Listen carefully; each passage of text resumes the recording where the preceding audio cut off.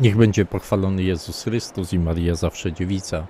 Bardzo serdecznie słuchacze Radia Maryja oraz widzów telewizji Trwam, wita ojciec Marian Sojka. Witam i zapraszam do modlitwy Anioł Pański, której będzie przewodniczył, jak to czyni tradycyjnie ojciec święty Franciszek. Ta modlitwa odbędzie się na placu świętego Piotra, gdzie wszyscy trwają w oczekiwaniu na pojawienie się ojca świętego Franciszka. To oczekiwanie ubogacane jest modlitwą, pieśniami, śpiewem i wzajemnymi pozdrowieniami.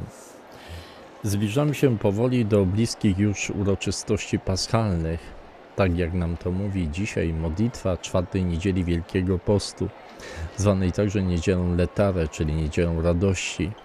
Jesteśmy zaproszeni, aby doświadczyć dziś radości, która pochodzi od Boga, a szczególnie z Jego zbawczej i wyzwalającej obecności. I podczas tej wielkopostnej drogi Słowo Boże objawia nam obecność Pana, który kroczy wraz z nami, jednocześnie wprowadza nas w blaski Wielkanocy. Pojawił się w oknie apartamentu papieskiego ojciec święty Franciszek. Cari fratelli e sorelle, buongiorno. Drodzy bracia i siostry, dzień dobry. Al centro del Vangelo di questa quarta domenica di Quaresima W samym sercu Ewangelii, w tę czwartą niedzielę Wielkiego Postu, znajduje się jest Jezus i człowiek niewidomy od urodzenia.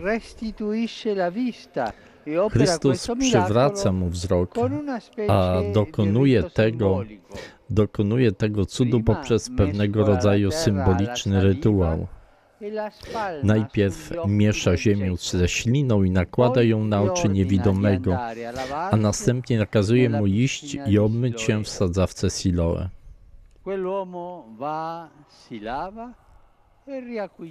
Człowiek ten idzie, obmywa się i odzyskuje wzrok. Poprzez ten cud jakby na nowo się rodzi, na nowo się rodzi i poprzez ten cud Jezus objawia się jako światło świata. A niewidomy od urodzenia przedstawia, reprezentuje każdego z nas, którzy zostaliśmy stworzeni do poznania Boga, ale jakże często z powodu grzechu jesteśmy jako ślepcy, jesteśmy jak ślepcy i potrzebujemy nowego światła. Wszyscy potrzebujemy nowego światła, światła wiary, które Jezus nam dał. W istocie niewidomy z Ewangelii odzyskuje wzrok i otwiera się na tajemnicę Chrystusa. Jezus go pyta, czy wierzysz w Syna Człowieczego? A któż to jest, Panie, abym w Niego uwierzył, odpowiadał uzdrowiony ślepiec. Jest nim ten, którego widzisz i który mówi do Ciebie. On zaś odpowiedział, wierzę, Panie. I pada na twarz przed Jezusem w tym samym momencie.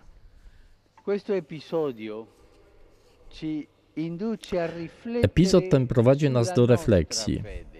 Prowadzi nas do refleksji na temat naszej wiary, naszej wiary w Chrystusa, w Chrystusa Syna Bożego, a jednocześnie również odnosi się do chrztu, który jest pierwszym sakramentem wiary. Który jest sakramentem, który sprawia, że ogarnia nas światło poprzez narodzenie z wody i poprzez narodzenie z Ducha Świętego. Tak jak to się stało z niewidomym od urodzenia, któremu otworzyły się oczy po obmyciu się w sadzawce Siloe.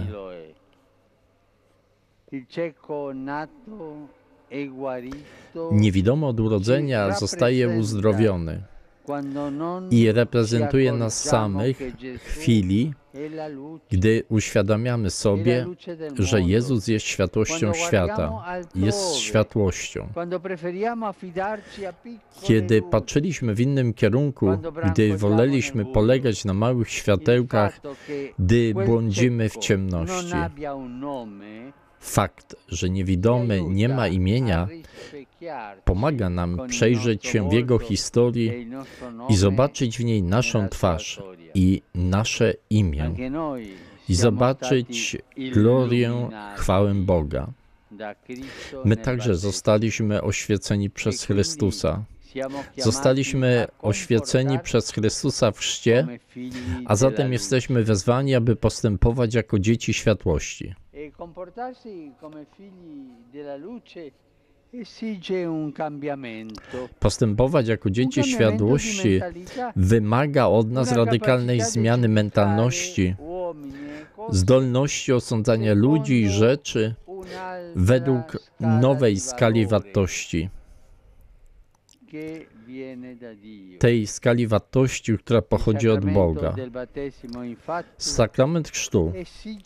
Sakrament chrztu w istocie wymaga jasnego i zdecydowanego wyboru, aby żyć e jako dzieci światłości i chodzić w światłości.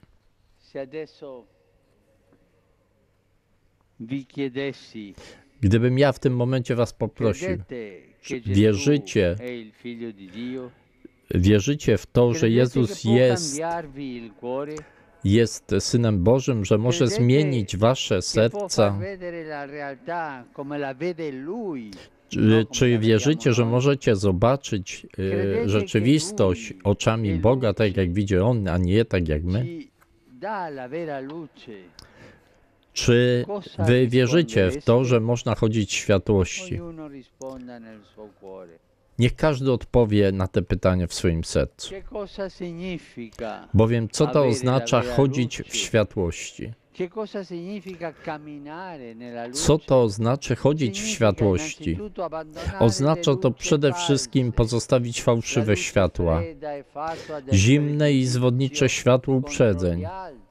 Zimne i zwodnicze światło uprzedzeń wobec innych, ponieważ uprzedzenie zniekształca rzeczywistość i napełnia nas nienawiścią wobec tych, których osądzamy bez miłosierdzia i nieodwołalnie potępiamy. To jest chleb powszedni każdego dnia. Gdy tyle się si mówi o innych, gdy odmawia się innych, to się nie postępuje, nie idzie w światłości, ale w ciemności. perché cieniu.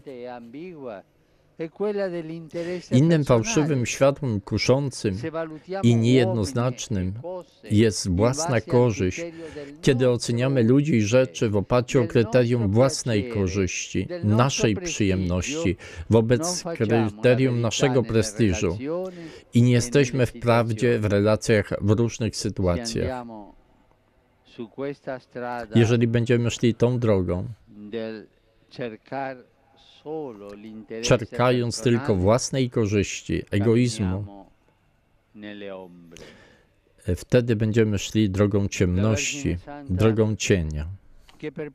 Niech Najświętsza Dziewica, która po raz pierwszy przyjęła Jezusa, światłość świata, udzieli nam na nowo łaski ponownego przyjęcia w tym czasie wielkiego postu światła wiary i odkrycia nieocenionego daru chrztu.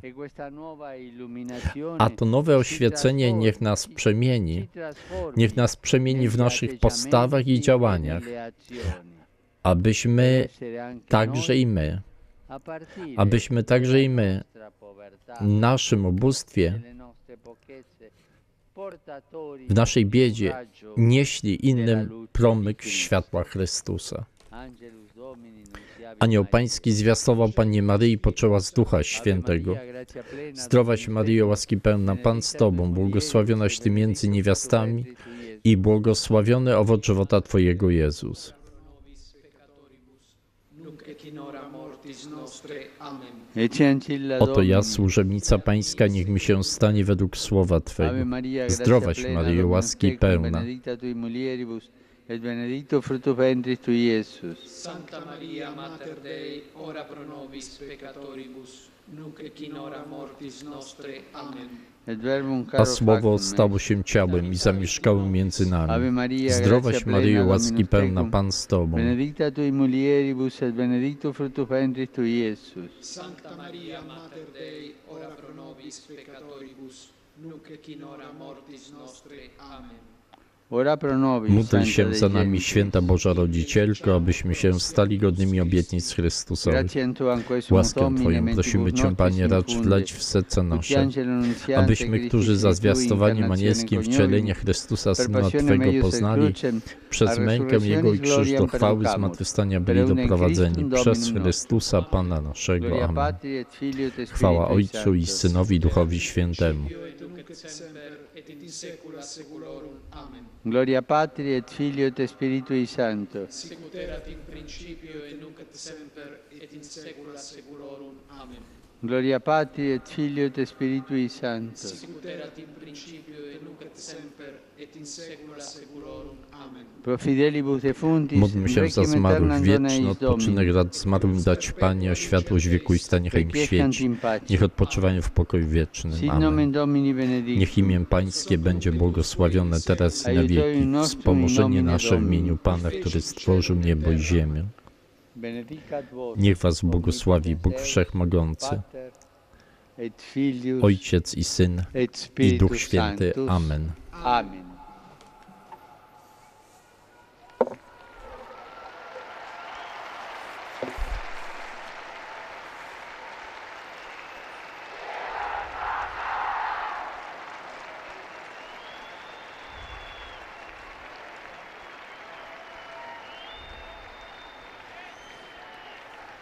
Cari fratelli e sorelle, Drodzy bracia i siostry, ieri ad Almeria, wczoraj Spagna, w Almeria w Hiszpanii zostali beatyfikowani Jose Alvarez Benavides de la Torre e 114 oraz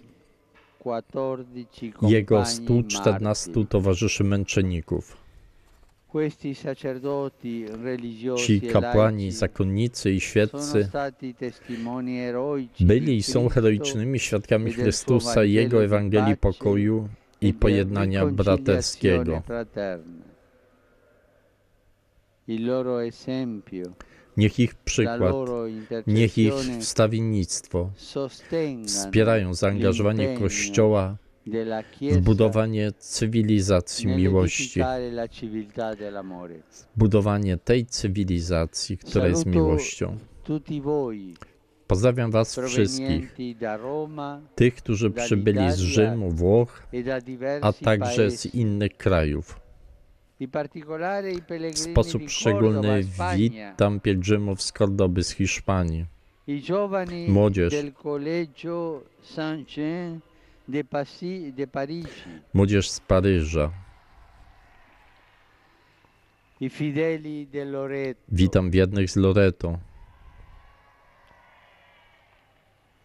i fideli di Quartu, Sant'Elena, z Quartu San Elena, z Rende, z Majori, Poggiomarino, e A także młodzież z dekanatu Romana Vittoria di Milano. Romana Victoria z Mediolanu.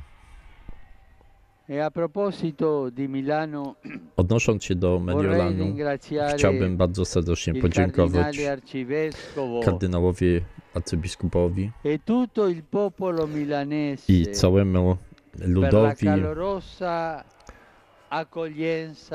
mediolańskiemu za bardzo serdeczne przyjęcie i gorące w Mediolanie wczoraj. Naprawdę czułem się jak w domu. Tam się czułem jak e w domu. Ze wszystkimi czułem się. e. Czułem się jak w domu z wierzącymi i niewierzącymi. Życzę i dziękuję Wam, drodzy E mieszkańcy. Mediolanu. I Wam powiem jedną rzecz. I a Milan si riceve il col. I pragnę potwierdzić, że prawdziwym jest powiedzenie, że w Mediolanie otrzymuje się serce na dłoni, że mieszkańcy Mediolanu dają to serce na dłoni. Życzę wszystkim dobrej niedzieli. Bardzo Was proszę, nie zapominajcie o modlitwie za mnie. Smacznego obiadu i do widzenia.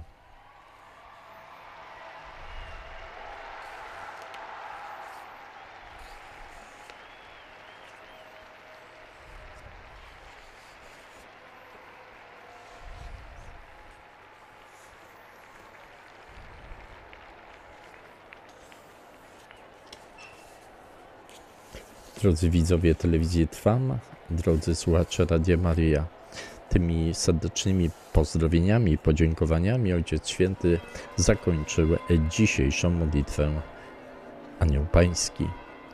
Jezus, przechodząc dzisiaj obok każdego z nas, zadaje to pytanie, które zadał niewidomemu: Co chcecie, abym wam uczynił?